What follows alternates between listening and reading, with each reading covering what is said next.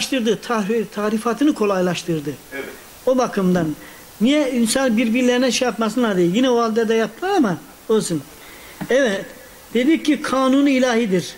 Bir takım hükümlerin bir mecmuasıdır dedik. İşte hükümler Cenab-ı Allah Kur'an-ı Azimüşşam'da bize bildirdiği hükümlerdir. O hükümler nelerdir? Birinci planda baktığımızda o hükümler Cenab-ı Önce emri ilahi. Diyor ki namazını kılacaksın. Ondan sonra orucunu tutacaksın.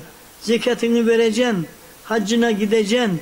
Ve kelime en önce kelime şehadet getireceksin. İslam dairesine gireceksin. Ondan sonra iman. Ondan sonra e, diğer e, fa, fa, adam öldürmeyeceksin. Haram yemeyeceksin. Zina etmeyeceksin. Ondan sonra bu gibi daha nice sayamayacağımız çok meseleler. Bunlar ne yasak edilmiş. Nerede yasak edilmiş? Ayet-i kerimede, Kur'an'da yasak edilmiş olanlardır. İşte biz bunlara ne yapıyoruz? Evet.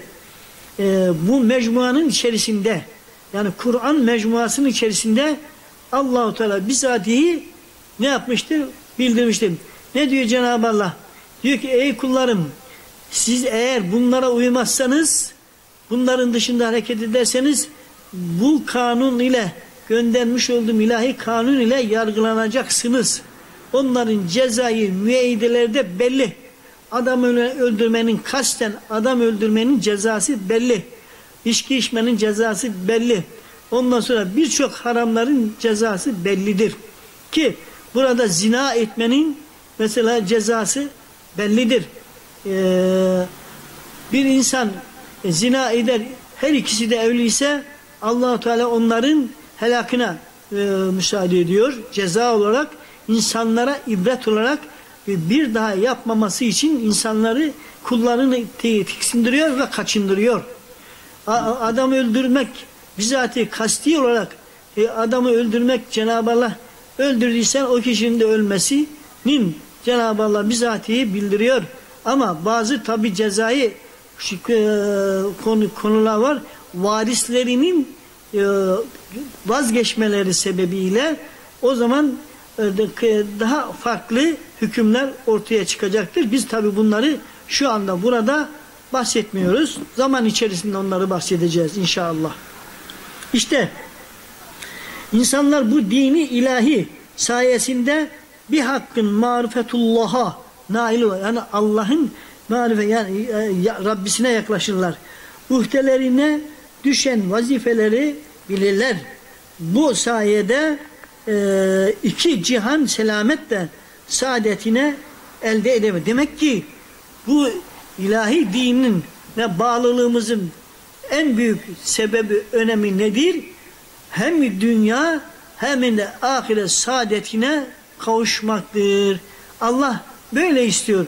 Ey kullarım sizin önünüzde bir kıyamet var. O gün ve kıyametten sonra bir yaşantınız var. Ebedi bir yaşantıya dahil olacaksınız. Onun için sizi dünyadayken mükellef kıldığım şeylerle amel etmeye devam ediniz. Bu ameller devam ettiğiniz müddetçe elbette ki hem dünya hem de ahiret saadetine ulaşırsınız. Demek ki kısaca din Allah'ın bizatihi ilahi kanunudur diyeceğiz. Ee, ki bunu da tabii ki e, kimler uyguluyor? Önce diyor ki Allahu Teala Hazretlerinin peygamberleri vasıtasıyla bu ilahi kanunları kime bildiriyor Cenab-ı Allah? Peygamberlerine bildiriyor. Peygamberler de kimlere? insanlara bildiriyor. İhsan ve tebliğ e, onun için bak emri bil maruf nehyanın münkeri yapınız ki yani insanları hem dünya hem ahiret saadetine ulaştıracak görevleri yerli yerine getiriniz demektir. Evet. İkinci sorumuza geldiğimiz zaman dinin vazı hakika, hakikisi kimdir? İnsanlar vazı din olabilirler mi? Şimdi buradaki soruya gelince dini vazı hakikisi bizatihi kimdir? Allah'tır. Kim vaz ediyor? allah Teala vaz ediyor.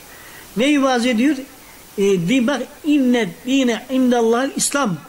Allah katında tek din İslam'dır. Ondan başka hiçbir din kabul edilmez. Ki bizatihi demek ki dini vazı, vaazı Allah'tır. Peki allah Teala Hazretleri'dir. Peygamberle e, peygamberler zişan Hazretleri de dini ilahinin birer ne, nesidir? Mübelliğidirler. Yani tebliğ edicidirler. Peygamberler ne yapıyorlar? Dini vaazı peygamber tebliğ ediyorlar. Kime tebliğ ediyorlar? Evet. Bütün enbiya ve mürselin haz hazaratının tebliğ buyurdukları dinler esasen müttehittir. O bir, yani tevhiddir, birdir. Hep gelen bütün peygamberlerimiz bir şeye davet etmişlerdir. Allah'ın birliğine. Hepsi de e, ta Adem Aleyhisselam'dan Peygamber Efendimiz'e gelen bütün peygamberler muvahhiddir ve müheddittir. Yani bir olan Allah'a davet etmişlerdir. Ondan başka gayesine hiçbir zaman için e, böyle bir haşa söz konusu değildir. Evet. İnsanlar insanların ise din vaazına asla selahiyetleri yoktur. Yani ne demek buradaki olay ne? Diyor ki e, insanların ise din vaazına asla selahiyetleri yok. Yani kendilerine göre bir din icat etme gibi din ortaya koyma gibi işte adına demokrasi mi diyorsun, komünizm mi diyorsun, faşizm mi diyorsun veyahut da şu, artık ne diyorsan daha başka maucu mu diyorsun hepsi bunlar gayridir. Bunlar kendi kendine bir hükümler ortaya koymuşlardır. Asla bunda Cenab-ı Allah e, kabul etmiyor. Evet. Veya da insanların ihtira veya da tahrip etmiş oldukları dinler ise hakikati halde din değildir. Tahrip ettiler ya e, belki biraz batıl veya da muharref yani tahrip edilmiş batıla dönüşmüş din, dinlerdir, dinlerden ibarettir. Demek ki birincisi e, dini vaazı hakikisi kimmiş? Allahu Teala. Peki peygamberler mübelli, tebliğ edici. İnsanlar asla ve dini vaazı yani yeni bir din ortaya koyamazlar. Asla Cenab-ı Allah onu kabul etmiyor. Üçüncü sorumuza gelince peygamberlerin ümmetlerine tebliğ ettikleri dinler arasında ihtilaf var mıdır? diye düşündüğümüz zaman şöyle bir bakalım. Peygamberlerin tebliğ ettikleri dinler esasen müttehittir. Yani vahittir, birdir, bir e, ittihattır, birliktir yani. O asla ve asla bunlar evet bunlar bir e, şey değildir. Bir hakiki dinden ibarettir. Yani peygamberlerimizin tebliğ ettikleri e, bütün nedir? Dini hakikidir ve dinden ibarettir. Bu dinlerin arasında bak usulü itikadiye itibariyle bir e, bir ihtilaf yoktur. Yani bunda herhangi ihtilaf yoktur. Bütün peygamberler aynı usulü ümmetlere tebliğ etmişlerdir. Ancak ibadetler noktasında değişir. Muamele, muameler ve ait bir takım şer'i hükümler vardır ki bunlar e, bunlara şeriat ahkamı şeriye denir. E, bunların arasında li hükmet bazı fırkalar bulunmuşlardır, farklı, farklılıklar bulunmuştur. Mesela bizim mükellef bulunduğumuz bazı vazifeler ile ilmi evet ilmi emmi say, e, salafeden bazıları selafeden bazıları mükellef bulunma, bulunmamış ol, olabilirler. Ha, demek ki şunu şöyle anlayacağız. Peygamberlerin ümmetine tebliğ ettikleri dinler arasında ihtilaf var mıdır derken asla yoktur. Olmamış hatta Olmamış. yardımlaşma olmuş diyebilir Tabii miyiz? tabii elbette bir canım. Bir yaparsan hocam Musa Aleyhisselam'la Şuayb Aleyhisselam Değil mi? Din bab, bir gayrı babası. Aa, aynı tabii canım. ya da Harun Aleyhisselam'la tabii, tabii, Musa tabii, Aleyhisselam tabii. yan yanalar. Yan yanalar tabii. Yan yanalar. Yani buna benzer evet, peygamberler evet. arasında ya da aynı anda Hazreti Yusuf'la babası Bak, Yakup Aleyhisselam değil mi? Yani bak böyle bir Var ya İbrahim tabii çok. Ha şimdi onlar zaten bütün peygamberler mühit, müve, yani müvahittir, müvahittir yani bir bir olan Allah'a davet ediyorlar. bir olan Allah'a. Başka evet. bir yere bir. Onun için onların arasında herhangi bir ihtilaf söz konusu Asla değildir. olmamış. Ama muameleler kısmında muamele derken şekli Akaid diyelim. e, yok. Akaid de değil ya de. muamele e, ha- e, şey, fiili hareketler Fiili hareketler. fiili hareketler hareketler. Ha, fiili hareketlerde e, mesela Peygamber Efendimiz'de beş vakit Musa Aleyhisselam'da on vakit mesela daha fazla gibi yani bunun gibi tabi o zaman gibi evet hakiki dinlerin mukabili nelerdir karşılığı nelerdir demek manasındadır hakiki dinlerin mukabili batıl ve ne, ne, ne e, muharref olan dinlerdir. Bunu böyle bileceğiz. Demek ki hakiki dinlerin mukabili karşılığı nelerdir? Batıl olan dinlerdir. Allah'ın kabul etmediği dinlerdir. İnsanların kendi kendilerine icat ettiği dinlerdir. Bunun gibi artık adına sen ne dersen de insanların yapmış olduğu dinleri hiçbir ha din derken biz bazen şöyle anlıyoruz din. Sadece din derken bir e, ilahi vaz ona ona karşı. Halbuki din ilahi kanun din bir kanundur diyor. Bir ilahi da ilahi kanun vardır, bir de gayri ilahi kanun vardır. Bu onlar insanların yapmış olduğu gayri ilahi dinlerdir. Allah'ın anayasası. Tabi yasası tabi. Anayasa. Ee, ilahi yasa tabi o. Ama beşerin yapmış olduğu asla ve asla yasa değildir. Yani Allah katında kabul edilmeyendir. Evet. Ama cebden veya da yapılmış ama insanlar onlara uymak uymadığı takdirde cezalandırıyorlar. Farz yok, vacip yok, sünnet yok, yasak haram yok, e, helal, helal yok. Var mı şu andaki e, şeyde e, sistemimizde var mı? Yok. Bu ne oldu? Kimin yapmış olduğu? Kim? İnsanların yapmış olduğu bir. Uyacaksın diyor, uyuyorsun. Çünkü çoğunluk farklı boyuttan dolayı e, uymak mecburiyetindeyiz. Burada bizim yapacağımız ibadetlerimiz ve itikadi konularımızı işlemektir. Peki, bunun gibi İman ne demektir? Son. Son olarak da iman ne demektir?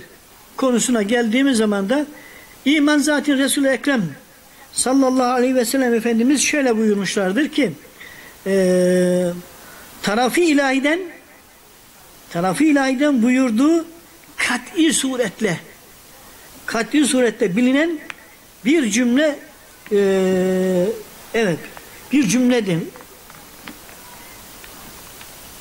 Evet. Demek ki e, iman Resul-i Ekrem tarafı sallallahu aleyhi ve sellem Efendimiz şöyle buyur- buyuruyor ki e, tarafı ilahiden tebliğ buyurduğu katil surette yapılması gereken uyulması gereken e, konulardır. Ve bu hususta cezmen tasdik etmektir. Yani cezmen derken bize bir cümle cezmen bütün bütün cüzlerini kabul etmektir. Cezmen burada cüz manasındadır. Yani imanın cüzlerini kabul etmektir. Mesela Allah'a iman, meleklere iman, kitaplarına iman, peygamberlerine iman, kadere iman, ölüp de dileceğimize iman. Bunlar cüzlü. Hepsi Allah'a imanın cüzleridir. Asla şüphe etmeden etmemek. tam teslimiyet. Tam hem dil hem Ben kalple mesela ahirete inanmıyorum. ha, dediği zaman ya, çıkar. Gibi gibi. O dinden Ölüme inancı, Aynen. e, Hesap gününe Hesap inanmıyorum. günü, Ne aynen. varsa bu dünyada var Da- diyenler var ya. onlara orada iman noktasında Rabbim cevap veriyor. İman etmiş değillerdir onlar. Evet, evet. Bir tanesini kabul etmesen yine bir imandan çıkmıştır. Ne kadar ben Müslüman dese de Hani çocuklarımıza He. daha bu akıl bari olur olmak imanın şartlarını Tabii, tabii. ya. Evet. Tasdik dedik ya mümin e, tasdik edilen şeye de e, ha bunları tasdik edene yani imanı konuyu tasdik edene mümin e, tasdik edilen şeye de müminin bir de, de- denilir. Ki burada evet bunu da böyle ne yapmayı anlamış olduk.